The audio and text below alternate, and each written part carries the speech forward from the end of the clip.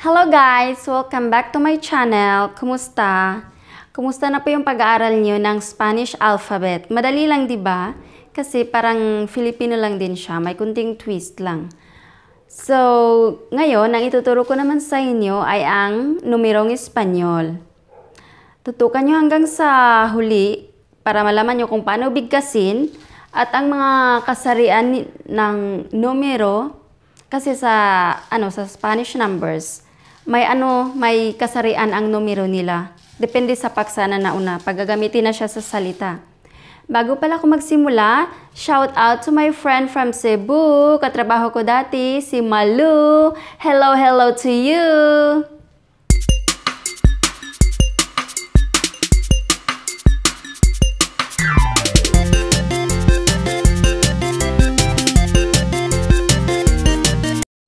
Cero, uno, 2, 3, 4, 5, 6, 7, 8, 9, 10, 11, 12, 13, 14, 15, 16, 17, 18, 19, 20, 21, 22, 23, 24, 25, 26, 27, 28, 29, 30, 31, 32, 33, 34, 35, 36, 37, 38, 39.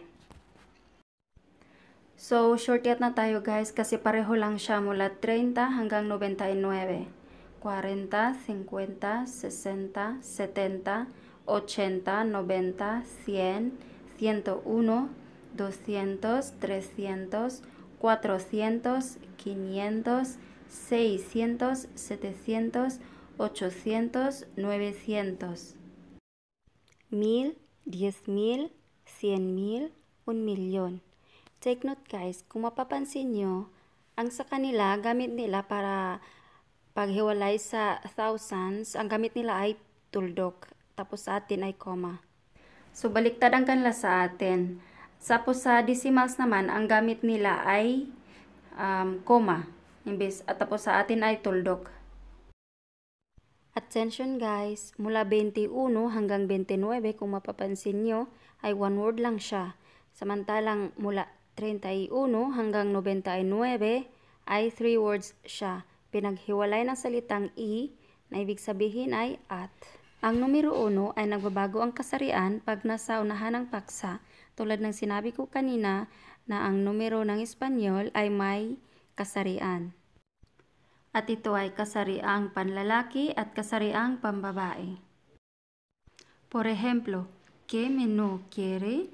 Ibig sabihin, anong menu ang gusto nila? El menú 1 con un helado y una bebida.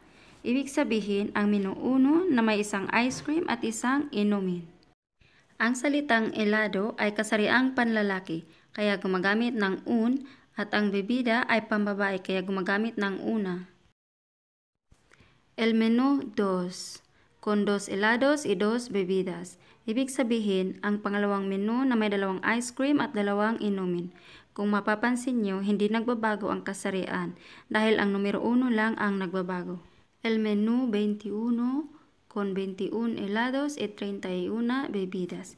Ibig sabihin, ang pandalamput isang menu na may dalawamput isang ice cream at tatlumput isang inumin.